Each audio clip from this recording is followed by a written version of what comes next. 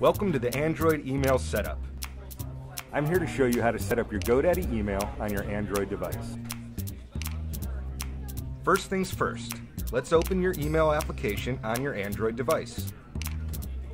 From the menu, go ahead and tap Settings, and then click Add Account.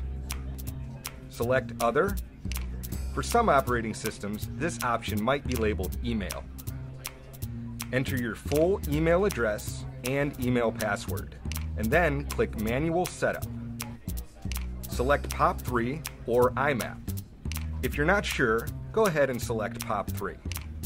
Enter your incoming email server as pop.secureserver.net and make sure your port is set to 110.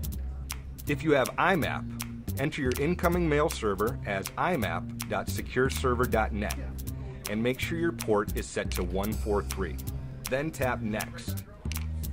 The SMTP server settings should read smtp.out.secureserver.net with port 25 or 80 set.